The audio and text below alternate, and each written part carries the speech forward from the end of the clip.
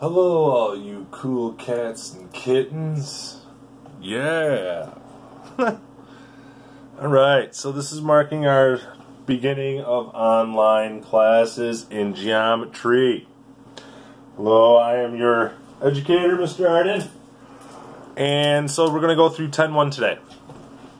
Um, please make sure that if you have any questions to write them down. And then when we have our Zoom meeting, um, you can ask me then. Or if you want to post any in Google Classroom or email me any questions, you are more than welcome to. All right. So to begin, we're going to be looking at areas of parallelograms and triangles. Um, nothing really fancy here. Hopefully this will be a slight review. Um, the area of a rectangle is just going to be your base times your height. So the area of a triangle or a rectangle is base times height. Easy enough. Should be a little review. Um, a parallelogram, no different. Um, when you're looking at a parallelogram, very similar to a rectangle, but it kind of looks like it kind of like shifts a little bit. Um, but that's not going to affect the area at all. The area of a parallelogram is still base times height. Same business. Okay. But notice there is um, the height is inside. Okay? Now, it doesn't always have to be inside. Um, you can use any side of the parallelogram as a base. So if this is the base right here, I could say that this is the height or the altitude. I could also extend it and then drop an altitude right here. All right? The altitude has to be perpendicular to the base. Okay? Um, so when we look at this, this is going to be the base, and then we can get our height this way. Okay? Now, as I said before, any side of the parallelogram can be a base. So if we turn a parallelogram, and we look at it on this side, now this is going to be the base. And if that's going to be the base, well, I can drop it here, get the altitude that way, or extend this out, drop that, and get the altitude that way. Okay? So, depending on how you're looking at the parallelogram, would dictate what the altitude is to what the base is. Okay, and remember that the altitude has to be perpendicular to the base. Okay, so we're looking for right triangles. Right triangles, okay. um, the base of a parallelogram can be any one of its sides, so just make sure that if you use um, one of these as the base that you turn it accordingly. And the height is just the altitude. It's just the altitude from the base. And remember, it's always going to be perpendicular to the base, okay? Always perpendicular, so you have to look for those little 90 degree triangles, okay? Um, and then this is a little example about the altitude and the base. And this is what I was talking about before. So right here, there's the altitude to this base. But then if we turned it just a little bit, or we turned it 90 degrees, I should say, now this is the base, and that's the altitude, okay? Now, if you're looking at it like this, please be aware, this is not the base. And what I mean by this, from here, from that little corner, all the way to here is not the base. It's just the piece of the parallelogram. That's the base, okay? And we're going to go through, and I'm going to show you both these different ways of how to find um, or how to use the areas of a parallelogram, okay? So when we go down here, find the area of each parallelogram, well, we know the area of a parallelogram is going to be base times height, so as long as we have those two pieces of criteria, we'll be alright. So when we look down here, there's our altitude for this. That's perpendicular to this base. So if I just go 5 times 4, that'll give me my total area. And it'll be 20 inches squared. 20 inches squared. Make sure that you have the units on it. We have to start getting used to the units, okay? And whenever you're looking for area, it's always going to be squared, as opposed to like a length or the perimeter or anything like that. Excuse me. For the next one, okay? Now, this is what I was talking about. It looks really awkward, right? Like, oh, it can't just be base times height, because what about this big gap right here? But that's what I was talking about earlier. This is still the base, okay? And then when we drop our altitude, notice that it is perpendicular to the base. So in order to get our area of this slanted um, 2 by 4 looking thing. Um, all we do is base times height, 2 times 3.5. Okay, multiply those, 2 times 3.5, we get 7 centimeters squared. Okay, this is 3.5. Okay, but the point of this is, you know, the base doesn't have to go all the way to where you're dropping the altitude. Okay, the base is just whatever you declare in the parallelogram. So that's why it's 2 times 3.5. Okay, and then we get 7 centimeters squared. Um, if you have any questions, please make sure to write them down. All right, let's turn the page. All right. Looking at the um, coordinate graph. So we we are we still know that the area of a parallelogram is base times height. So we have to find our base and then we have to find the height. So I'm going to use this as my base. So my base My base is going, I got to figure out the length of this. So I'm going to go with the absolute value of negative 6 minus 0. And that's going to be the absolute value of negative 6, which is 6. So I know that my base right here is 6. Okay? And I just did, and you could, if you wanted to, just negative 6 to 0, just find that distance. That's all you're looking for. Okay? Now I have to find the height. And my height is going to be from here all the way down to here, like that. So I'm still going to have my, it's going to be perpendicular, so I just have to find the distance between here and here. So to get my height,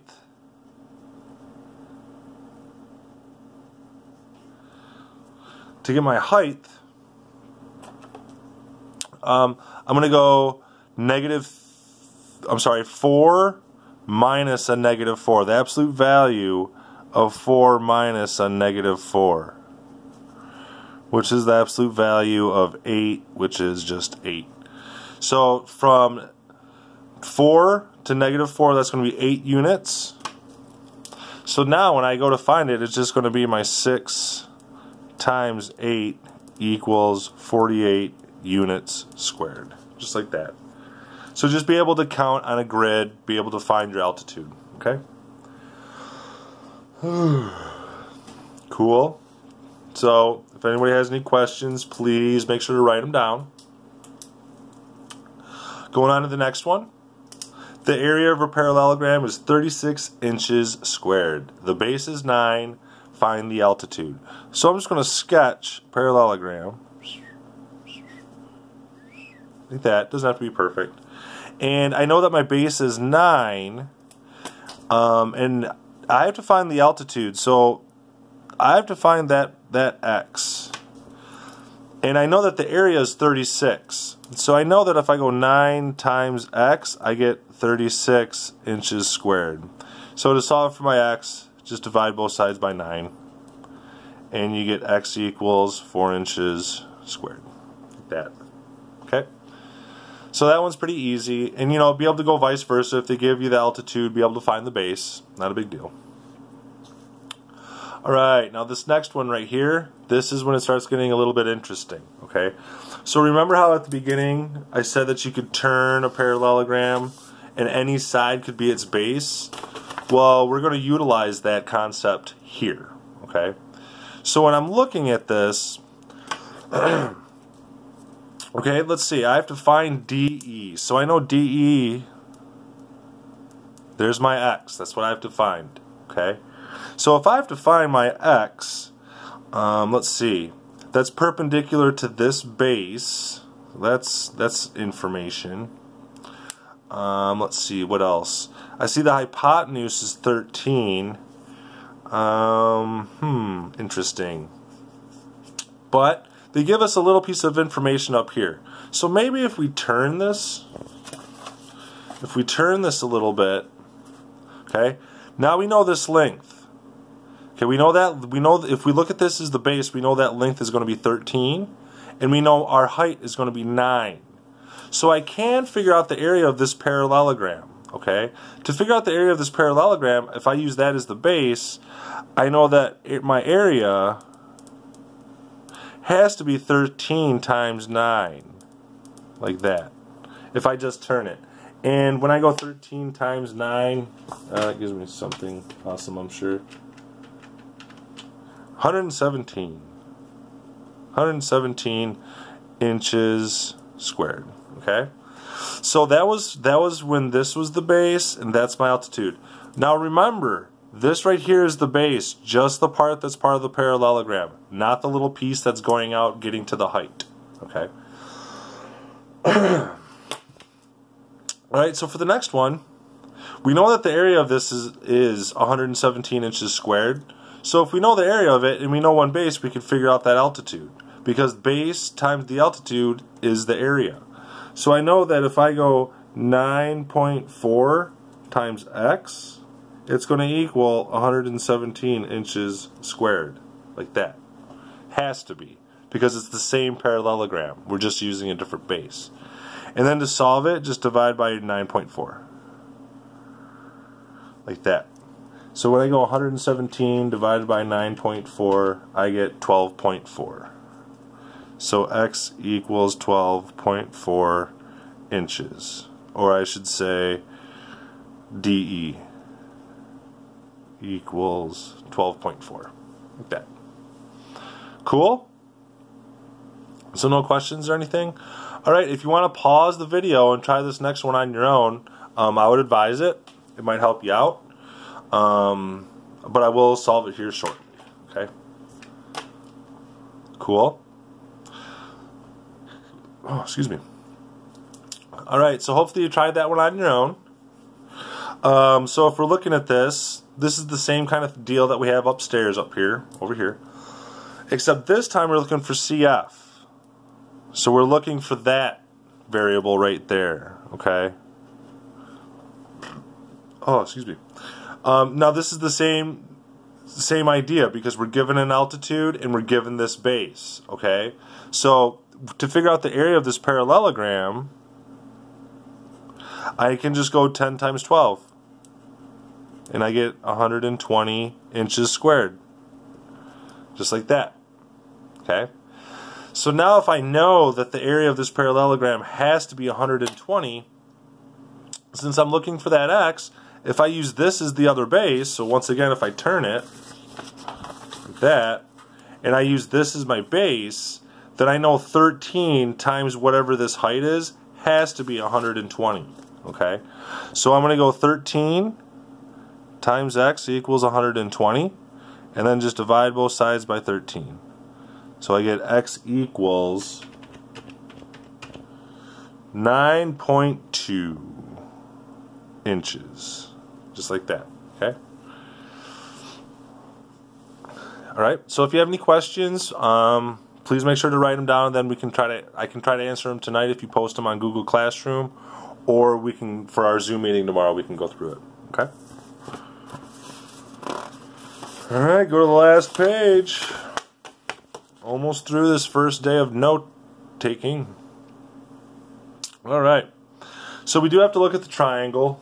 Um, hopefully this will be a slight review, but there is going to be a little snafu in it. Um, so remember, the base of a triangle can be any of its sides. So if I'm looking at this triangle, this could be a base, or if I spun it, now that's the base, or if I spun it again, now that's the base. So it really depends on how you're looking at these triangles, but that doesn't affect the area, okay? No matter what you use as the base, you're always going to get the same area. And remember that the area for a triangle is, I'm sure everybody knows, one half base times height. Easy enough, okay? Except now it's going to be a little bit tricky because we have to figure out that height. Okay?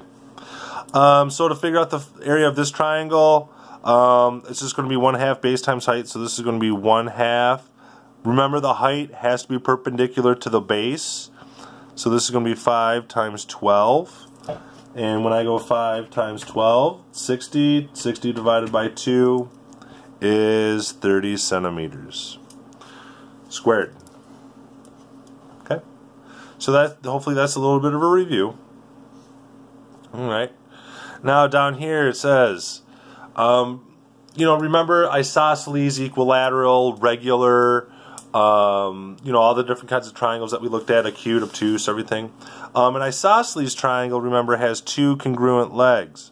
And if it's a right one, it's going to make life a little bit easier for us. Because we know that those are both going to be the same, just like that. Okay? So we know that if we apply the formula 1 half x, or 1 half base times height equals 128, um, and then we have to solve it. So it's going to be 1 half base. So for right now, well, I guess I'll put an x in there. 1 half base x times x equals 128, just like that. Okay.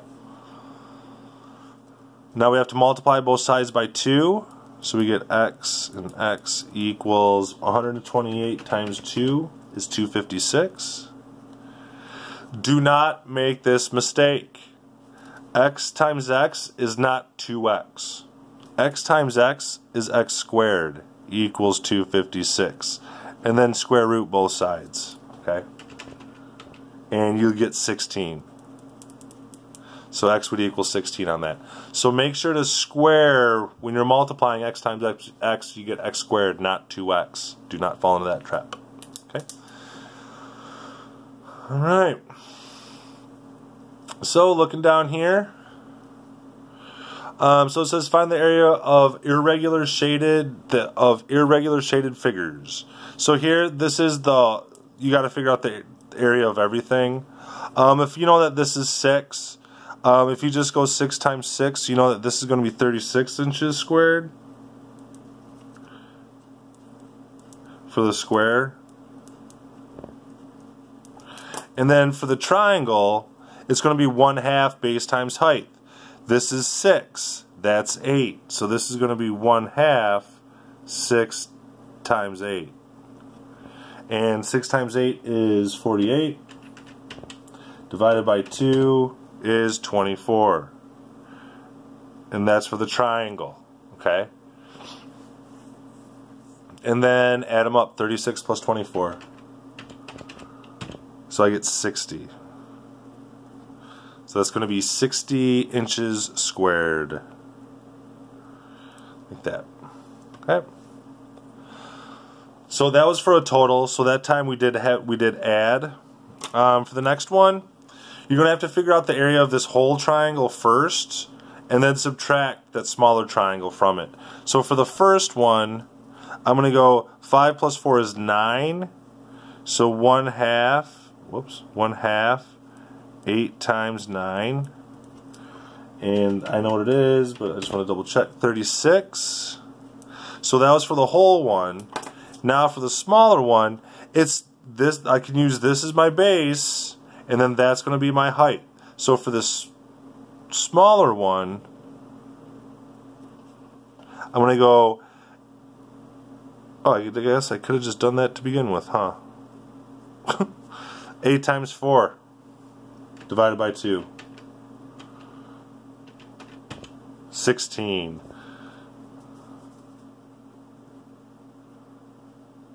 Whoops.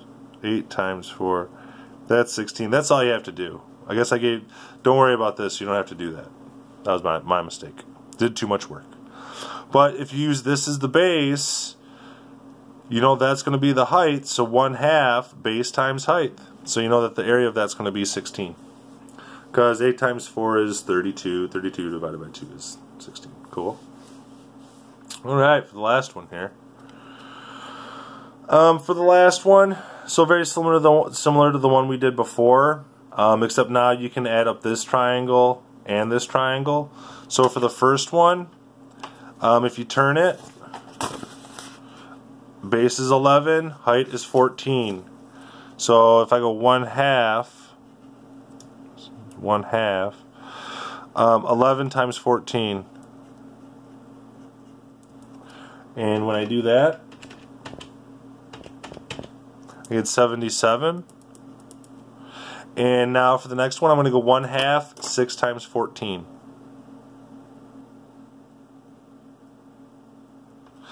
And when I do that, I get 42. Add those up. 7, 8, 9, 7, 8, 9, 10, 11, 119 units squared. Just like that. Okay? Alright? So if you have any homework or if you have any questions, make sure that you write them down. Um, as far the, as far as the homework, um, that's going to be